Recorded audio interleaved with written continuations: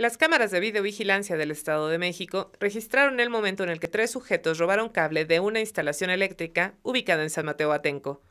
En las imágenes captadas por tres de las 10.000 cámaras que operan en territorio mexiquense, se observa cómo los tres presuntos responsables intentan sacar el cable de cobre tirando de él. Sin embargo, como no consiguen extraerlo para cortarlo, uno de los sujetos ingresa a la instalación subterránea y ubica la ruta del cableado. Luego, en las imágenes se observa que se dirigen a otra instalación ubicada sobre Avenida de las Torres, retiran la rejilla e ingresan para cortar desde ahí los cables. Una vez hecho esto, los tres sujetos regresan al primer punto para, ahora sí, poder jalar los cables de cobre y robarlos.